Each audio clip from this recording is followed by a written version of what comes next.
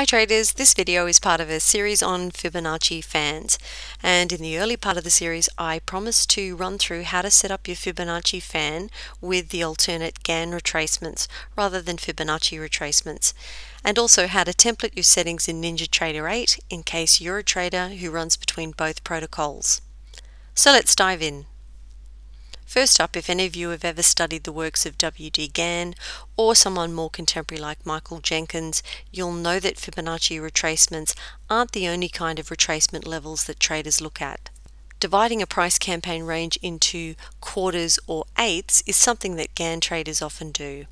If any of you have Michael Jenkins' secret angle material, you'll know that many of the chart examples throughout that course references these other levels.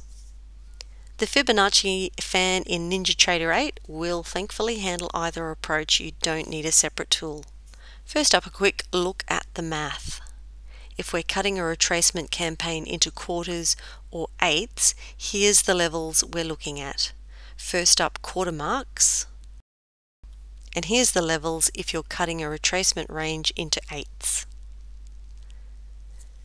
To configure these levels into the Fibonacci fan, head over to the Properties panel of the Fibonacci fan tool and on the right side of the panel, simply key in your personal preferences. Now, if you're a trader that runs between both Fibonacci and Gann protocols when it comes to retracement trading, you may want to make life easier on yourself by templating up your preferences. This way you won't have to key in the variances every time you swap between protocols. To template an option while you're in the Properties panel for the tool, hit the Template button down right of the panel. Then push Save and you'll be given the option to not only save those user preferences but also to select uh, which preference that you would want as your default. Simple as that.